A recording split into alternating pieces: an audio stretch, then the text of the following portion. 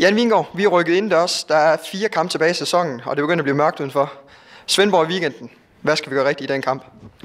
Jamen, vi skal jo selvfølgelig øh, bygge videre på, på den øh, øh, efterårssæson, vi har haft, og specielt øh, se, om vi kan, kan ramme samme niveau, som øh, vi leverede ned i øh, gryden i, i weekenden, øh, hvor, hvor det var utrolig øh, fokuseret øh, koncentrations- øh, og løbestærkt milfarthold, der, øh, der også øh, spilmæssigt øh, stod distancen over 90 minutter, så hvis vi kan, hvis vi kan ramme det og gerne bygge lidt på, så, så vil det være nogle af parametrene mod Sønderborg.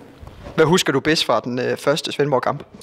Jamen, jeg husker, at vi havde øh, nogle afstemningsproblemer, specielt i første halvleg, hvor vi kom til at bruge alt for mange kræfter, uden at Svendborg i den forstand blev farlige, men, men vi kom til at bruge alt for mange kræfter på at og, og Europa bolde. Øh, vores boldomgang var for dårlig. Det fik vi ændret lidt i, i pausen, og derfor ender vi også med at, at vinde. Så øh, det er nogle af de parametre, vi skal være også på, når vi skal møde øh, Svendborg igen lørdag. Mindre end sejr, kan det gøre det? Det kommer an på, hvad, hvad vi vil. Hvis vi vil forsøge at jagte umulige, så skal vi have en sejr, og der, vi spiller pokalkamp fra nu af. Det er der ingen tvivl om, hvis, hvis vi skal prøve at byde os til i en meget, meget tæt række, og, og det synes jeg, at vi skal have som mål. Så, øh, så øh, vi spiller pokalkamp fra nu af, og det er jo gerne sådan i pokalen, der skal man vinde for at gå videre, så det synes jeg også, vi skal gøre på lørdag. Og hvad siger du til drengene nede i omklædningsrummet, ligesom for at få dem helt op i gear til de her sidste kampe?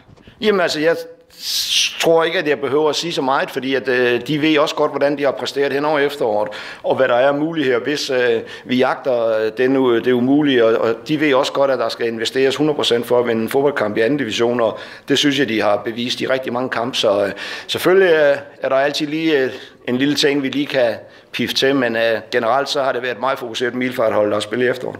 Tak for det.